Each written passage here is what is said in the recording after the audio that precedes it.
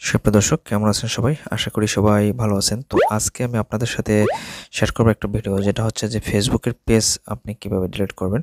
আমরা ফেসবুকের গ্রুপ থেকে পেজ থেকে আসলে ফেসবুকের অনেকগুলো, অনেক সময় পেজ বেশি হয়ে গেলে আপনি আসলে যদি অতিরিক্ত পেজ আপনি যেটা ডিলিট করতে চাচ্ছেন, আপনি রাখতে চাচ্ছেন না, সেটা আসলে কীভাবে ডিলিট করবেন, আপনাদেরকে আমি সেটা দেখাবো। তো সঙ্গে থাকুন আর দেখতে থাকুন সম্পূর্ণ ভিডিওটি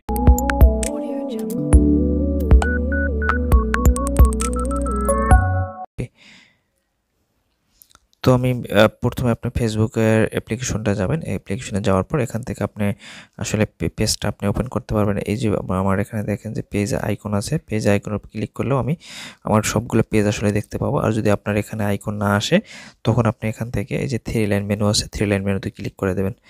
যখন থ্রি লাইন মেনুতে ক্লিক করবেন ক্লিক করার পর দেখবেন যে আপনার এখানে যে পেজ আপনার এখানে শো করবে, যে আপনার এখানে কয়টা পেজ আছে। দেখেন আমার এই ফেসবুকের আন্ডারে এগারোটা পেজ আছে।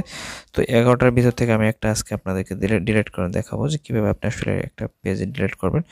তো এই জন্য আমি আসলে দেখাচ্ছি যে আমি কোন পেজটা ডিলিট করব। আমি এটা দেখাচ্ছি যে আমি এটা ডিলিট করব লার্ন ইজিলি প্রো তো এটা ডিলিট করার জন্য এই পেজ পেজটার উপর আপনি ক্লিক করে দেবেন। ক্লিক করলে আপনার সামনে এরকম আসবে।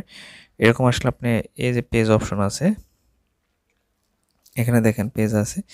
এই পেজের উপরে আপনি এখানে পেজ লেখা আছে। পেজের উপরে আপনি ক্লিক করে দেবেন। এটার উপরে যখন আপনি ক্লিক করবেন, আসলে আপনার সামনে পুরো পেজটা চলে আসবে হ্যাঁ? তো দেখেন, এরকম পুরো পেজটা চলে আসবে।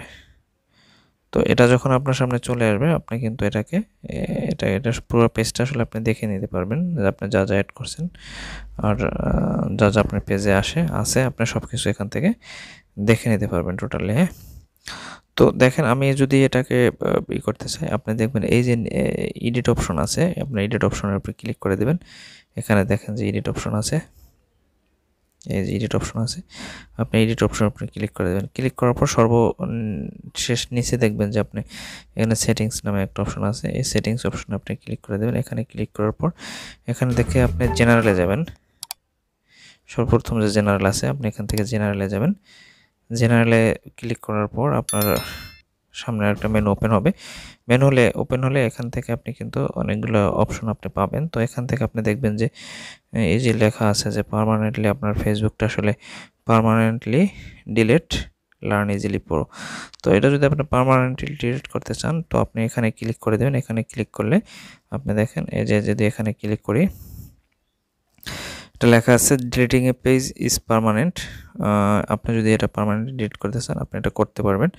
হ্যাঁ you will not be able to get it back আপনি কিন্তু এটা আসলে আর ফিরে পাবেন না যদি আপনি এটা ডিলিট করেন পারমানেন্টলি তো আমি এটা, আমার এটা আমি চাচ্ছি না, তো আমি এটা ডিলিট করে দেবো। তো এখানে লেখা আছে যে are you are you want to delete learn easily pro তো ইয়েস আমি এটা যে ডিলিট করে দেবো ডিলিট ক্লিক করে দেবো ডিলিট পেজ ডিলিট পেজে ক্লিক করে দেন, দেখেন আমার অলরেডি এখান থেকে কিন্তু এটা লেখা হচ্ছে যে পেজ হ্যাজ বিন ডিলিটেড তো এখান এখান থেকে আমি যদি দেখাই আপনাদেরকে, দেখেন, এটা যদি এখনও সাময়িক আছে, কিন্তু এটা অলরেডি যদি আমি রিফ্রেশ দিই, কিন্তু এটা আপনার এখানে এখানে এটা দেখতে পাবেন না হ্যাঁ?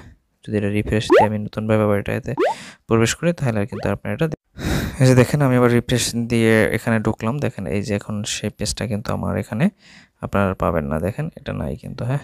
দেখেন লার্ন ইজিলি পড়ো, যেটা আমি ডিলিট করলাম সেটা কিন্তু নাই।